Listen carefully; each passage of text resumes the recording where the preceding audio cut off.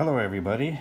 So I was running around town trying to get a prescription for my daughter and um, I was sent way out somewhere in the next town where I don't usually go to and there was a Walgreens.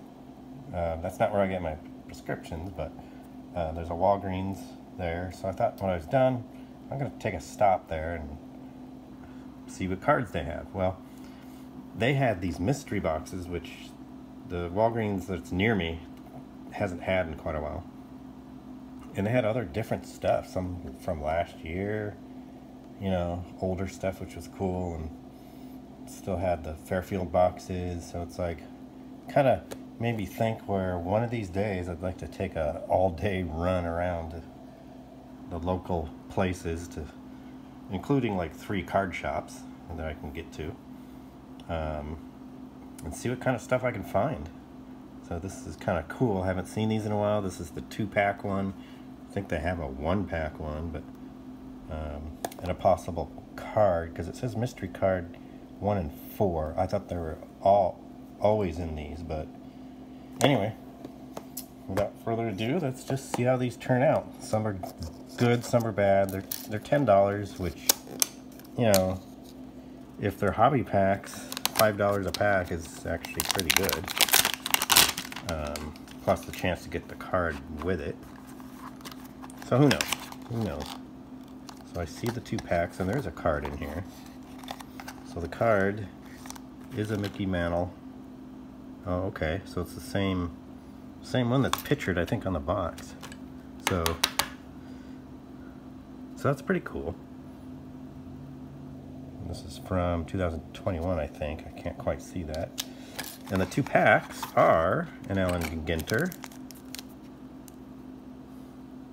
2022, and oh, okay, now I remember uh, these packs. They possibly have the Japanese uh, pack in there, so I bet the other one does too. Oh well, they're still cool to open and see what kind of stuff you can get. Uh, so we'll do the Japanese pack first. Because I noticed this one had a chrome pictured and of course 2022 update. That would be cool. Alright, let's just see what here. Obviously I don't know any. There's a numbered card in there. Don't know any of the Japanese names. So if, if you do, let me know. So there's Yomatangu out of 199. So that's something to look up. All right, so here's the Allen and Ginter.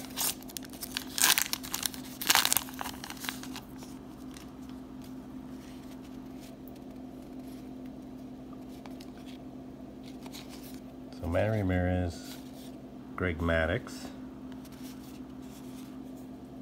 famous rivals, Yankees in Boston. That was kind of neat. Ian Happ and Trey Mancini. I don't know if that was a, that's not a hobby pack. All right, well, let's look at the next one. I mean, will it be the same? Possibly. I've noticed that with the Fairfield boxes, if you get a bunch at the same place the pack that you get in there, and sometimes some of the cards are the same. So there's no card in this one, so so it really is one in four, so it's kind of cool I got one. And this is a little better. You do get the Topps Chrome and the update of 2022. So cool, you get what's pictured in this one. All right, that's not too bad. Sure, you don't get the card, but you know.